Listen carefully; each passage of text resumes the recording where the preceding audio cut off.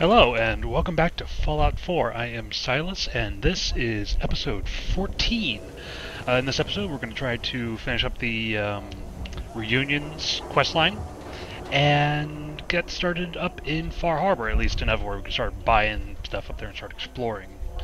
Uh, as you probably noticed, Kira here has had a makeover. Different hair, a couple more scars, and most importantly, new armor and weapons and gear and shit. Uh, she had a bit of a, a mishap. Ended up losing her leg there. Thankfully, cybernetics. So, without further ado, let's get going. Yep.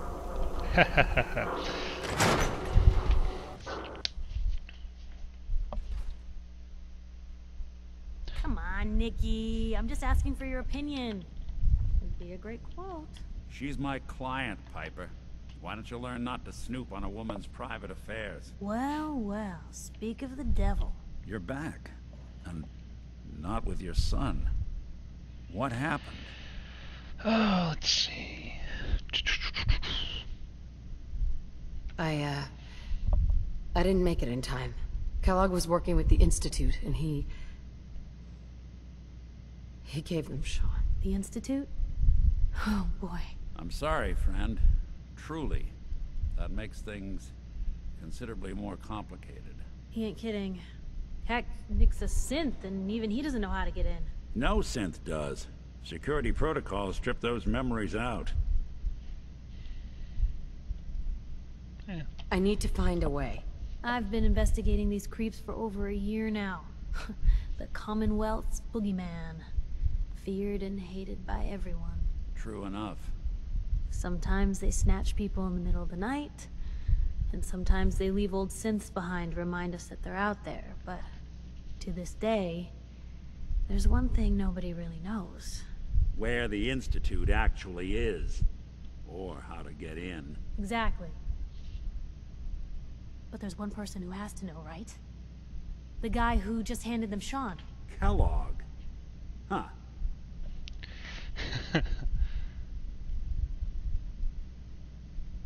Man like that would have had access. In and out.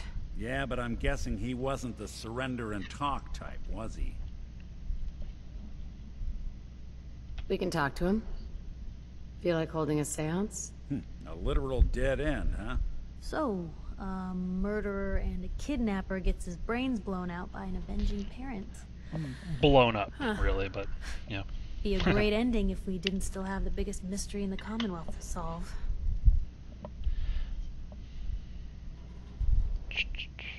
He wasn't gonna talk. Even if I had a way of bringing him alive. Gets his brains blown out. Huh. His brains. You know, we may not need the man at all. You're talking crazy here, Nick. Got a fault in the old subroutines? Look, there's a place in Goodneighbor called the Memory Den. Relive the past moments in your mind as clear as the day they happened. If anyone could get a dead brain to sing, it'll be Dr. Amari, the mind behind the memories. I don't know, Nick. That seems a little out there. You're talking to a synth. I am a little out there. Just stay with me on this. Let's see, I guess we're gonna need a piece of Kellogg's brain.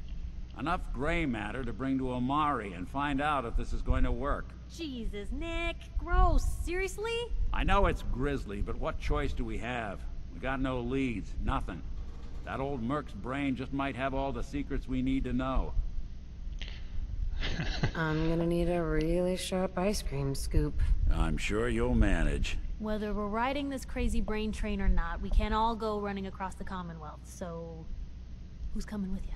I have to go to the memory den either way, if I'm going to introduce you to Amari. But if you want to head there together, just say so. I'll head there. I'll head there on my own. All right. See you at the den. Don't worry. We're gonna get your boy back. Just a few more steps. Uh, well, you two are out. I'm gonna do some more research. I'll be at the Publick if you need me. Ooh, case files.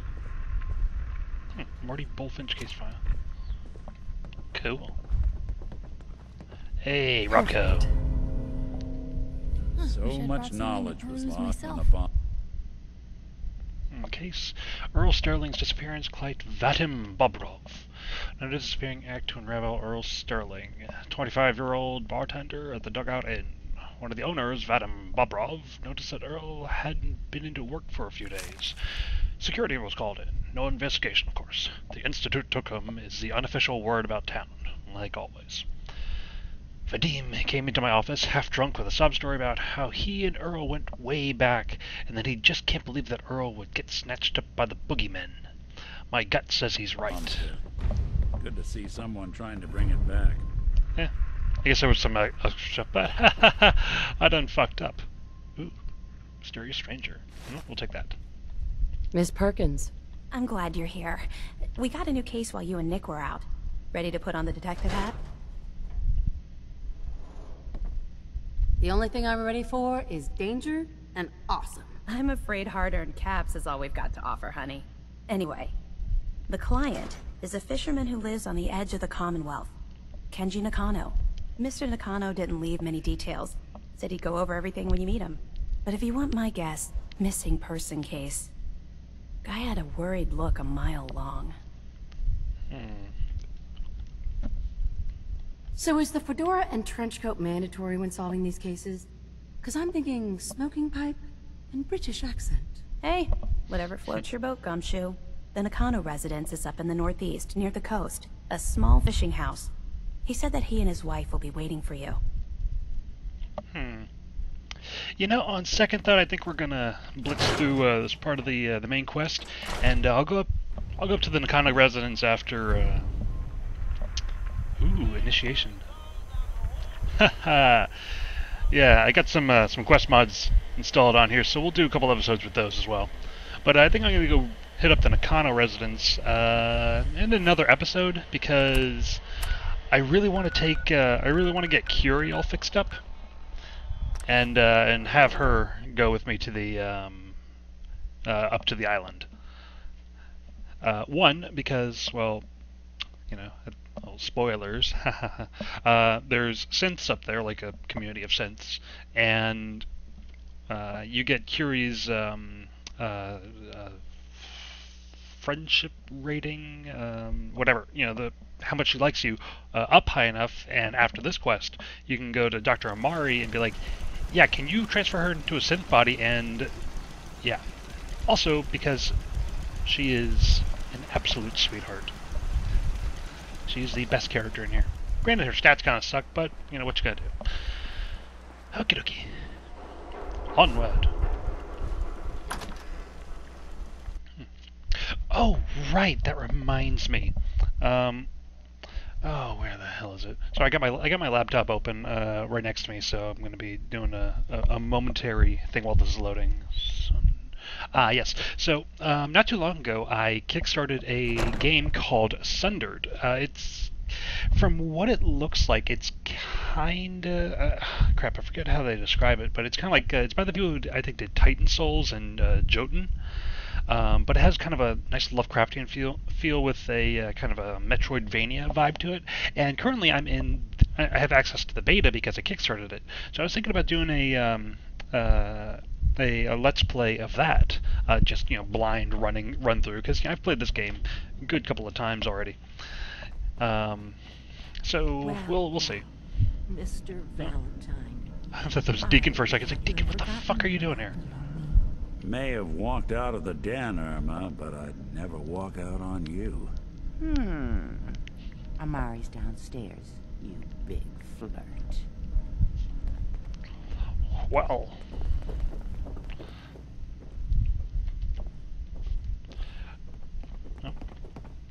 Come along, Nick. Mr. Valentine. I do like this effect here where like you can just see the, the light there is just bam, you know, glaring. Huh, it's Dr. weird, I don't have a shadow. Yes? Wait, I know you. You're on the railroad. What's this all about? Oh, there we go. cool.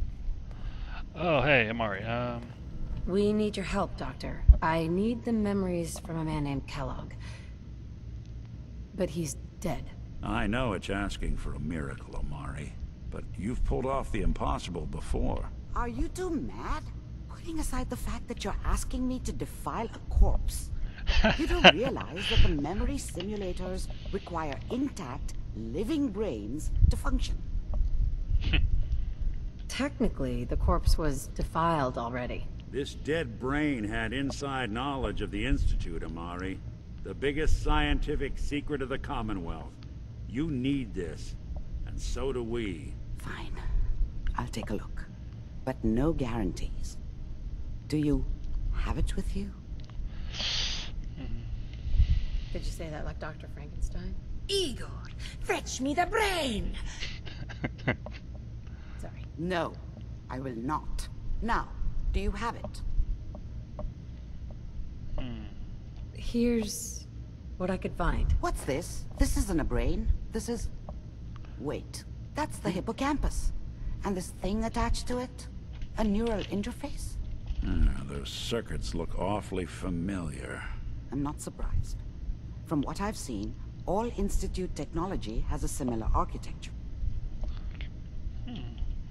So the brain is still good, right? Possibly. There's no sign of decay, so the tech is probably preserving the tissue. Injecting some kind of compound to keep it stable. But there's no way to access the memories inside without a compatible port. You're talking about me, right? I'm an old synth. If the Institute built me out of similar parts, we might have an in. There could be long-term side effects. I don't know where to even begin with listing the risks. Don't bother. I don't need to hear them. Plug me in, Doc. We should try plugging you into a toaster next. Hmm. Fresh toast. Uh, it's nice to know that even when I'm about to have a foreign object shoved into my noggin, you find new horrible ways to laugh at my expense. You're ready, Mr. Valentine. Just sit down. If I start cackling like an old grizzled mercenary, pull me out, okay? Rub code. Ooh, ooh, Grognak. Let's see here. I need you to keep talking to me, Mr. Valentine. Any slight change in your cognitive functions could be dire. Are you feeling any different? There's a lot of flashes. Static. I, I, I can't make sense of any of it, Doc. That's what I was afraid of. The mnemonic impressions are encoded. It appears the Institute has one last failsafe. There's a lock on the memories in the implant. Hmm. Tell me you have a way past this, Doctor. Let me think. The encryption is too strong for a single mind. But what if we use two? We load both you and Mr. Valentine into the memory loungers. Run your cognitive functions in parallel. He'll act as a host, while your consciousness drives through whatever memories we can find. Hmm. Nick and I are gonna share a mind? I'm not gonna see him in any compromising positions, am I? Yeah, if a smart mouth was all it took to solve problems, we would have found your son by now. Um, no. You won't have to worry about that. The only memories you'll access are the ones in the implant. All right, let's get started. Just sit down over there, and keep your fingers crossed. See you on the other side. Oh, Fallout 3 flashbacks. Hey, it's damn near the same thing, isn't it? Well, kind of. I mean, you know, the other thing was like a virtual reality hodgepodge 1950s bullshit Initiating thing. brainwave migration between the transplant and the host. Mnemonic activity coming from the transplant. It's Oh. degenerated, but it's there. We're going to load you into the strongest memories we can find. They might not be stable. Just hold on. Ah!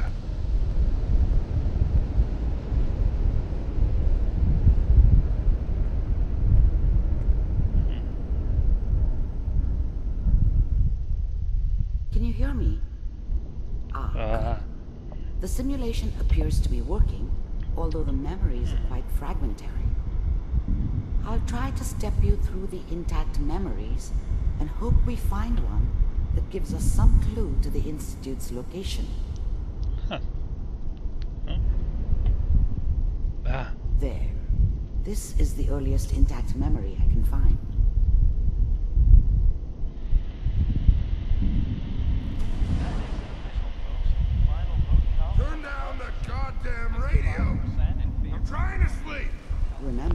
Dad was either drunk or not around. This I guess he must have run with one of the raider gangs, but I never really knew what he did. Don't know why Mom was with him. Maybe at some point in his life he wasn't a complete asshole. I was such a dummy back then. What did I know about how the world worked? I think now she wanted me to kill him. I should have. Instead, I ended up running away. I told myself I wanted to find somewhere out from under the thumb of the NCR and all their rules. But really, I was running from the guilt of not protecting her from Dad. And uh, Mom knew how it was. She wasn't soft, but uh, she loved me in her way. And she protected me from Dad. that cost her more than a few beatings. I never knew what happened to her after I left. I didn't want to know. Not then. People always hoping for something better. They usually end up with something worse.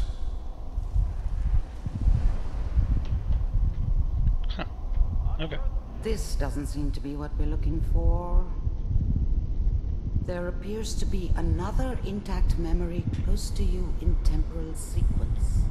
There. Try that one. It's gonna be fine.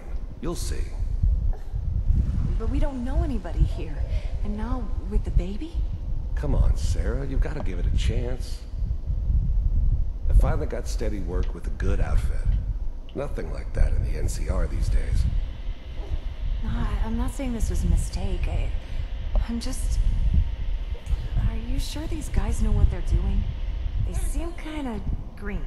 I know. But that's where I come in. Just wait. In a few years, I'll be running my own crew. As soon as I make the connections I need. Then I can give you anything you want. And little Mary, too. I never worried about you before. Hmm.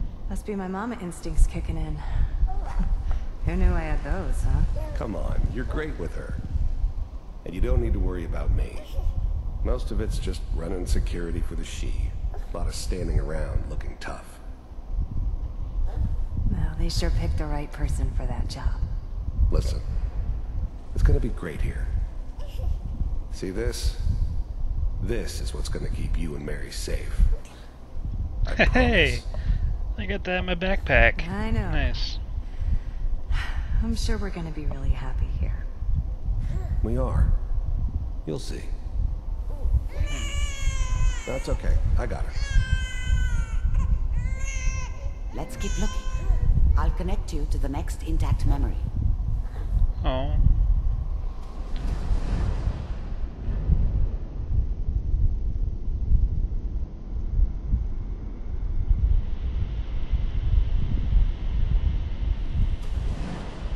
How did you think this was gonna end, Kellogg? you thought you could just fuck with us, and we wouldn't fuck with you? Just so you know, they died like dogs. And you weren't there to help them. I found another memory to try. I'll connect you. Damn.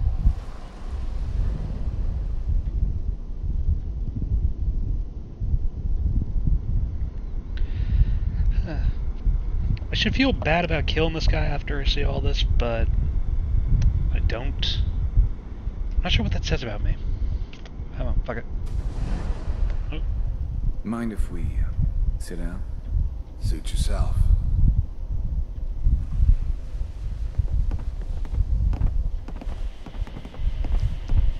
So, um, Hear you'll take care of people's problems. Is that right? If you pay me.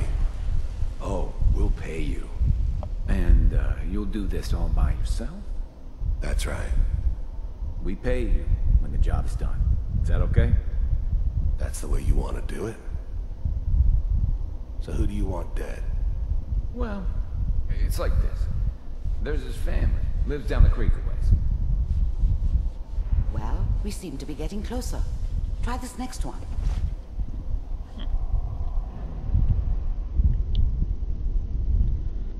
Yep. Narration. Mr. Kellogg, I'm glad you decided to meet with me. So, you're with the Institute. I wanted to see for myself if you really existed. We do, as you can see. What do you want? It's come to my attention that you've been rather disruptive of our operations lately. This must stop. I do what people pay me to do. If that's a problem for you, I could see only one way out. And what's that, Mr. Kellogg? If I'm working for you, there's no more problem. From what I hear, you can afford me. I don't think you fully understand the situation you're in. I think I do. Very well. B-748, initiate.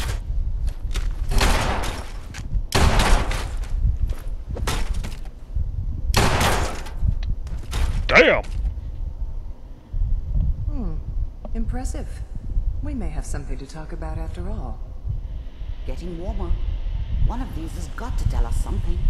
God damn it, Amari. We're running out of brain here. Ah. There's one that looks mostly intact. Connecting now. Oh. Manual override initiated. Cryogenic stasis suspended. Vault computers are still working. That's good. Checking through the logs. Hopefully it's all... Just find it. Pod C6. Down the hall near the end. Right.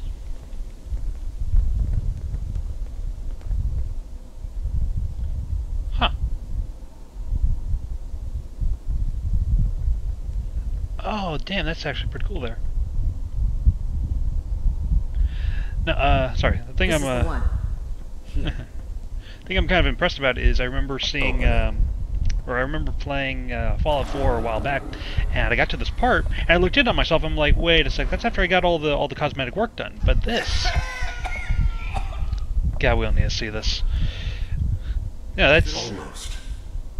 yeah, that's her before. Uh, gonna be fine. that's her before all the, uh, you know, getting fucked up. I got him. Let the boy go.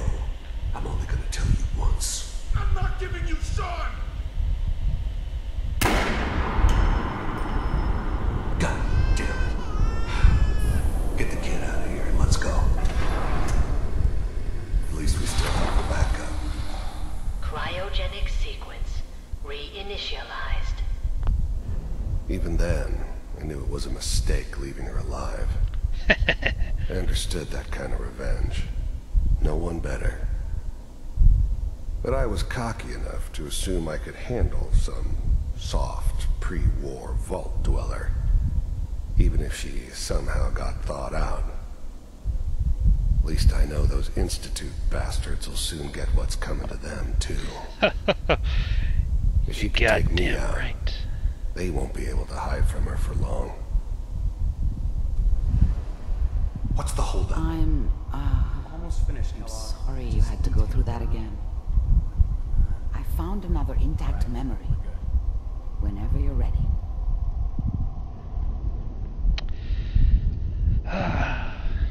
Almost done. Oh, Is damn. your son? This appears to be a very recent memory. So, good news, I think. Fairly recent. Sure. This whole setup in Diamond City was part of some elaborate plan of the old man's. Seems obvious now that we were bait for our friend from the vault. Timing couldn't have been an accident. It's not how the old man works. I wonder if he outsmarted me in the end. Another loose end tied up. Wasn't my idea to settle down with the kid in the middle of Diamond City. I thought it was a terrible idea, actually. But it was one of the old man's pet projects, so here we were. Me and the kid. Like a happy little family. I ended up kind of liking it. A reminder of what my life might have been if things had turned out differently. But there's no going back. I knew it was just temporary. It'd be back to normal business before too long.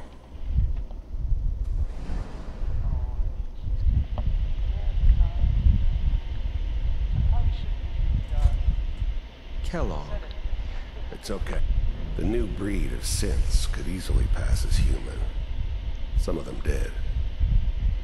But the coursers, they weren't built to blend in. They were killing machines, pure and simple. Smarter, stronger, and faster than almost any real human. we'll I'm just see. glad they were always on my side. One of these days, you're gonna get your head blown off just barging in here like that. Minimizing my exposure to civilians is a priority. Forget I said anything. So what's the big crisis this time? New orders for you. One of our scientists has left the Institute. Left? As in? He's gone rogue. Name's Dr. Brian Virgil. We know he's hiding somewhere in the glowing sea. Here's his file. Wow. Some heads are gonna roll for this. Capture and return, or just elimination? Elimination. He was working on a highly classified program. No kidding. One of the top bioscience boys? Damn. So, I guess you're taking the kid back with you. Affirmative. Your only mission is to locate and eliminate Virgil. You're taking me home to my father? Yes. Stand next to me and hold still. Okay.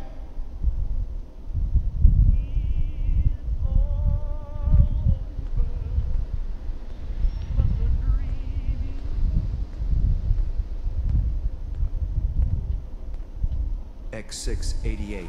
Ready to relay with Sean. Bye, Mr. Kellogg. I hope I see you again soon. Bye. Teleportation. Now it all makes sense. Nobody's found the entrance to the Institute because there is no entrance. Let me pull you out of there as soon as you're ready.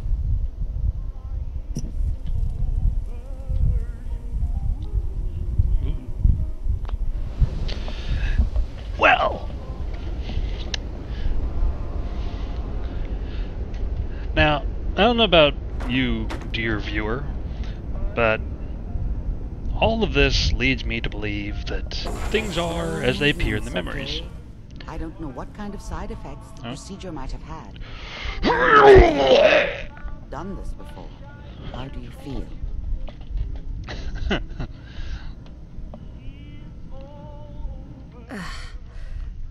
I have this burning feeling inside my skull. It's on fire. That's not surprising. All the synapses in your brain have just been pulled apart, connected to someone else, and then pulled back together. I injected you with a large stimpak while I was pulling you out. That should ease things. Are you ready to talk about what happened in there? There's more than one person who knows about the Institute. Virgil, that scientist who escaped. I didn't know Institute scientists could defect. This changes everything. He could answer all sorts of questions. Where did the memory say he was? The glowing sea? That can't be right. No one would risk going there. Not even to hide. Hmm. Why? What makes the glowing sea so dangerous? The name says it all. Radiation. So much that nothing there could possibly live. Nothing pleasant. Navigating radioactive hazards is nothing new, but the glowing sea can kill a man in seconds. That's why it doesn't make sense. Virgil fleeing into that hell. The exposure alone. Hmm. That's why he's there. To make the Institute think twice about following him. That must be it. He's using the radiation and the glowing sea like a shield, or a cloak, a way to throw them off and be at an advantage. If Virgil found a way to survive there, you'll have to do the same. If you're going to follow him. Hmm. Oh, I'm going in naked. Fingers crossed I get superpowers. I know you're joking, but as a doctor, I feel obligated to remind you that unprotected radioactive exposure will only kill you. Dead. D-E-A-D. So be sure you find a way to get through there with your life intact. And good luck. By the way, I unplugged Mr. Valentine first. Removed the implant while you were waking up. He's waiting for you upstairs. Neat. Nick, where are you, buddy? Ah, there you are. Hey, Valentine. Hope you got what you were looking for inside my head. I was right. I should have killed you when you were on ice. You want to try for round two, huh? Let's go. What? What are you talking about? Wait. Were you just playing a joke on me? Uh, I guess that's for you to wonder and for me and Kellogg's memories to know for sure. Anyway, I feel fine, so let's get going. Hmm. I'm gonna head out on my own from here, Nick. Good luck out there. You know where to find me. Cool. All right. Well, with this, I do believe we will end the episode here. Uh, I'm gonna go fix up Curie, get some power armor, and uh, you know what? Just for the hell of it, I we think should next. head over to the Nakano residence when we can. Find out what their case is about. Yeah. You step through the gate, you got balls. Yeah. But yeah, no, uh, next episode, um, we are going to have Curie all fixed up and looking adorable because well, she's a sweetheart, like I said. Uh, we're going to go hang out with the Nakanos and then grab a boat up to the island. I got a uh, lever action and a harpoon gun I gotta get if I'm going to be going down to the uh, glowing sea. I got just the power armor for there. So, until then, uh, I guess have a good day, y'all. Thank you for watching.